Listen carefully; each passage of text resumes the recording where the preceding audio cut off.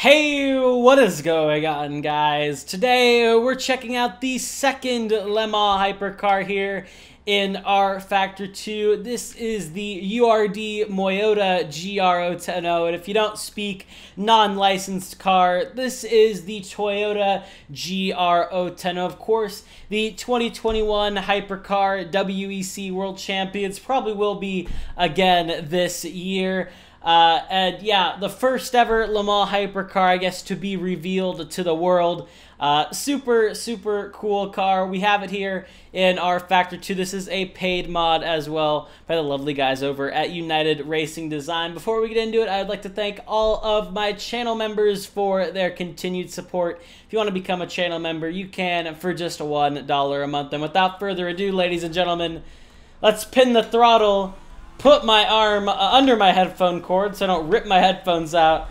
And let's get on to the track here, ladies and gentlemen. The URD Toyota GR010. Of course, if you watched the Glickenhaus video, you'll already know some of my uh, thought points on rFactor 2, but if you missed that one, I'll kind of reiterate them. In my opinion, RF2 is the king of endurance racing in terms of the WEC multi-class with prototypes and things like that. The physics, the cars themselves, the official ones, especially the GTEs and the LMP2 Oreca, are absolutely fantastic. And of course, the most recent laser scan of Circuit de la Sarthe. This is the place you want to go for Le Mans. And we are missing out on LMP1 cars. Uh, ByKolles did actually have their official LMP1 car mod in rFactor 2. Very good car mod. I never covered it on the channel, but yeah, really, really good. Definitely has uh, been fun to play with it uh, in the time that I have when I was playing rFactor 2 a lot for my video review. Uh, but we were always missing out pretty much on the top level WEC series. Uh, LMP1 came and went, and now we have Le Mans Hypercar. And to have some really strong LMH cars here in rFactor 2 to get the full WEC experience is absolutely amazing. This thing is really understeer. I was not expected that. I guess I gotta treat it a little bit like a heavier LMP2 car almost, it feels like. Faster in the straights, but a bit heavier through the corners. I guess that's what you expect when you have a ton of batteries. Let's actually talk about the powertrain of this car because in my opinion, it is very, very interesting. So this thing has a 3.5 liter twin turbocharged petrol V6 engine with, of course, a hybrid system. The car, as you can also see right now, is 7-speed gearbox, so I think the Glick was only, I think it was 7. It could have been 7, it could have been 8. I forgot, but yeah, really, really fun car. Very similar to an F1 car, except F1 cars aren't, uh, they aren't twin turbocharged, they're just single turbos. Going through the Porsche curves for the first time, feeling the car under load. This is where we're really to feel how good this thing is. Yeah, man, it feels good. In terms of driving feel, it feels like a hypercar. It feels definitely a bit different to the Assetto Corsa one, but that might actually just be the uh, RF2 physics engine. Uh, of course, being based off of rFactor Pro, which, if you don't know, is what uh, professional racing teams like F1 teams, uh, Toyota here use in their million million dollar simulators.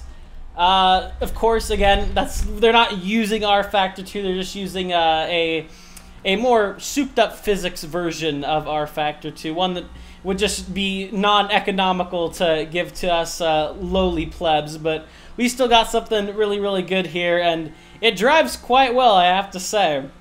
As for the car model, it's using the same one as we have in Assetto Corsa, so it is very, very high quality, really, really beautiful to look at as well. The reflections on all uh, ultra settings here in rFactor 2 look absolutely superb.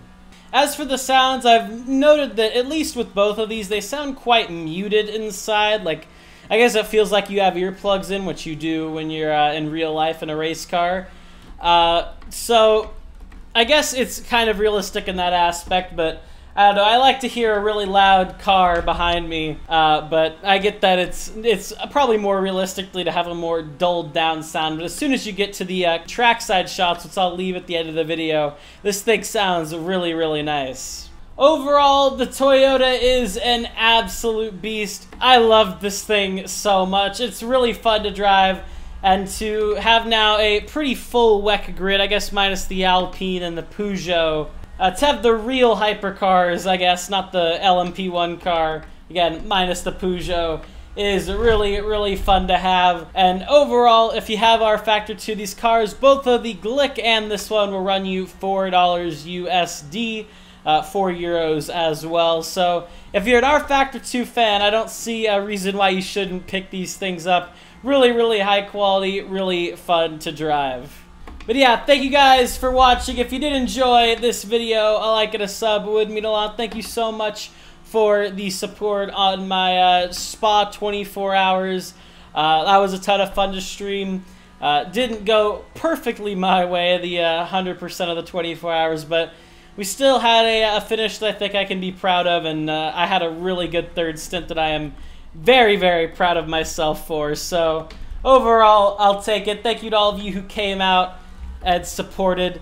And thank you for watching this video. I'll leave you with some uh, off-board TV cam gameplay. And yeah, I'll see you all in the next one. Have a good one, guys.